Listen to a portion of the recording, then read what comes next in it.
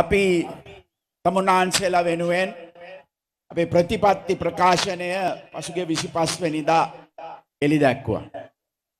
අද අපි එදා කියපු ඒ සහන මල්ල ගැන විස්තර ඉදිරිපත් කරා අපේ විමල් වීරවංස පැමත්තුමා ගැන විස්තර කර. අපේ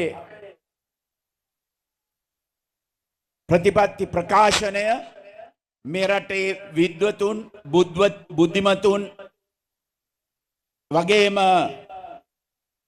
ගම සමග පිළිසඳරක් වැඩසටහන යක්තට තමුන්නාන්සේලාගේ අදහස් එවගේම ශ්‍රී ලංකා නිදහස් පක්ෂය ඉදිරිපත් කරපු අදහස් එවගේම තොන්නම නැමත්තුමා ඉදිරිපත් කරපු අදහස් මේ සියල්ලම එක්කව් කල්ලා ඉදිරිපත් කරපු ප්‍රායෝගික වැඩසටහනක්. මෙහි තිබෙන සියලුම කරුණු ක්‍රියාවට යොදන්නට පුළුවන් කරුණු ඒවා මැතිවරණ පොරොන්දු නෙවෙයි. තමුණාන්සලාට මම සාතික වෙනවා මගේ දූර කාලය තුලදී මේ අඩංගු සියලුම කරුණු ක්‍රියාත්මක කරනවයි කියන එක මම තමුන්නාන්සලාට තහවුරු කරනවා. අපි විශේෂෙන්ම ජාතික ආරක්ෂාව තමුන්නාන්සලාගේ ආරක්ෂාව පිළිබඳව මෙහි පැහැදිලි ප්‍රමුඛත්වයක් අපි දීලා තිබෙනවා. විධාන් තමුන්නාසල දන්නවා අපි මේ රටේ ත්‍රස්තවාදය අවසාන කරලා මේ රට නිදහස් කරාට පස්සේ නැවතත් එවැනි දෙයක් මේ රටේ සිදු නොවන ආකාරයට අපි ආරක්ෂක වැඩපිළිවෙලක් ක්‍රියාත්මක කරලා තිබුණා. ත්‍රිවිධ හමුදාව පොලිසිය එවගේම බුද්ධි අංශ මේ සියල්ලක්ම එකතු කරලා අපි පැහැදිලි වැඩසටහනක් ඉදිරිපත් කළා තිබුණා. නමුත් මේ රජය බලයට පැමිණියට පස්සේ ඒ වැඩසටහන සම්පූර්ණයෙන්ම නතර කරා. එදා ඒ නිදහස ගෙනාපු රණවිරුවන් ඔවුන්ගේ අභිමානය කඩාදාලා උන්ගේ මානසිකත්වය කඩාදාලා වගේම බුද්ධියන්සවල නිලධාරීන්ව අත්අඩංගුවට අරගෙන හිරගෙවල් වලට යවලා විශේෂයෙන් එදා CID TID ඒ වගේ ආයතනවල එදා අපි පාවිච්චි කරේ ත්‍රස්වාදීන්ව අල්ලන්න නමුත් ඒවා මේ රජය යටතේ පාවිච්චි කළේ දේශපාලන විරුද්ධවාදීන්ගෙන් පලිගන්න. වගේම මේ ඇමති මණ්ඩලය විදේශීය බලපෑම්වලට විදේශීය මතවලට යටවෙච්ච ඒ වගේම මානුෂික මෙහෙවුමට විරුද්ධව කටයුතු කරපු රණවිරුවන්ට විරුද්ධව කටයුතු කරපු රාජ්‍ය නොවන ආයතනවල බලපෑම්වලට යටවුණු ඇමති මණ්ඩලයක් එය අය බුද්ධි අංශ ඒගොල්ලන්ට දන්නපුවා කිසි ගානක් ගත්තේ නෑ. ආරක්ෂක මණ්ඩලයේදී ඒ බුද්ධ්‍යංශ නිලධාරීන්ට කතා කරන්නට ඉඩ දුන්නේ නෑ. බුද්ධ්‍යංශ තමයි රටේ අනතුරු හැඟවීමක් රජයට කරන්නට පුළුවන් වෙන්නේ. නොමුත් ඒ නිලධාරින් අපි එදා විශේෂයෙන්ම අපි පුහුණු කල්ලා තිබුණා නිලධාරීන්ව මෙ විශේෂයෙන්ම අන්තවාදී ත්‍රස්තවාදයට එරෙහිව ඒ ගැන ස්වා බලන්නට. ඒ බුද්ධි නිලධාරීන්ව ඒ අය ගැන ඒ අය කියපු තොරතුරු ගණන් ගන්නේ නැතුව අපි එදා පුහුණු කරපු බුද්ධි නිලධාරීන්ව වෙනත් තනතුරුවලට මාරු කල්ලා එදා ඒ වැඩසටහන ඉදිරියට ගෙන ගියේ නැති නිසා තමයි නැවතත් මේ රටේ බෝම්බ පුපුරන්න පටන් ගත්තේ.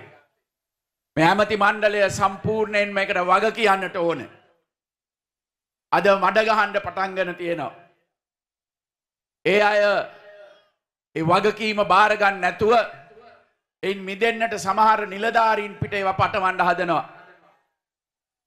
නොමුත් පැහැදිලිවම ඒ ආන් ආණ්ඩුව ඇමති මණ්ඩලය මේ සම්බන්ධයෙන් වග කියන්නට ඕනේ. අපි අනිවාර්යෙන්ම අපේ රජයක් යටතේ මේ සම්බන්ධව සොයා බලලා වග කිය යුතු සියලු දෙනාටම දඩුවම් ලබා දෙනවයි කියන එක මම තහවුරු කරනවා සියලු දෙනාටම. අපි නැවතත් මේ රටේ ජනතාවගේ ආරක්ෂාව සඳහා ජාතික ආරක්ෂාව සඳහා පේ වැඩ පිළිවල නැවතත් ක්‍රියාත්මක කරනවා. බුද්ධියංශ නිලධාරීන් ඔවුන්ට නිදහසේ දේශපාලන බලපෑම්වලින් තොරව ක්‍රියා කරන්නට එවගේම උන්ට නීති මගින් උන්ට රැකවරණයක් දෙන්නට කටයුතු කරලා නැවතත් මේ රටේ ආරක්ෂාව තහවුරු කරනවා අපි. නිසා නැවතත් මේ රටේ කිසිම අන්තවාදී ත්‍රස්තවාදයකට අපි ඉඩ දෙන්නේ නැතැයි කියන එක මේ අවස්ථාවේදී සාතික කරන්නට ඕනි. අපි ඒ වගේම තමුන්නාන්සල දන්නවා එදා ත්‍රස්තවාදය අවසාන කරලා අපි විශාල සංවර්ධනයක් මහින්ද රාජපක්ෂ ජනාධිපත්තුමාගේ දූර කාලය තුළ කාපට් මාර්ග අධිවේගී මාර්ග ගුවන් තොටපොළවල් ඒ වගේම වරාය වගේම නගර කොළඹ නගරය ආසියාවේ සීග්‍රෙන්ම දියුණුවන නගරය බවට පත් කළා නගර සංවර්ධනය මේ සියලු දෙනක්ම අපි එදා ආරම්භ කළා. අපේ තවදුරටත් කරන්නට තිබුණු ව්‍යාපෘති නුවර අධිවේගී මාර්ගය දකුණු අධිවේගී මාර්ගය හම්බන්තොට දක්වා ගෙන යන්නට දුම්රිය මාර්ග දික් කරන්නට මේ තිබුණු ව්‍යාපෘති සියල්ලක්ම මේ රජය බලයට ආවට පස්සේ නතර කරා. මෙන මේ හින්ද තමයි ආර්ථිකය කඩා වැටෙනට පටන් ගත්තේ. ඒ ව්‍යාපෘති හා සම්බන්ධ ව්‍යාපාරිකයන් ඒ කොන්ත්‍රාත්කරුවන් උපකොන්ත්‍රාත්කරුවන් එවගේම සපයුම් කරුවන් මේ සියලු දෙනාගේම ව්‍යාපාර කඩා වැටුණ. ඒ හා සම්බන්ධව හිටපු ලක්ෂ හතරක පමණ රැකියාවන් අහිමි වුණා. මෙන්න මේ හින්ද තමයි ආර්ථිකය කඩා වැටුණ. ඒ වගේම මේ අයට කිසිම සැලස්මක් තිබුණේ නෑ. ඒ ආර්ථිකය ගොඩ ගන්නට ඒ වගේම එයට ගැන ක්‍රියා කරන්නට පුළුවන් කණ්ඩායමක් හිටියේ නෑ.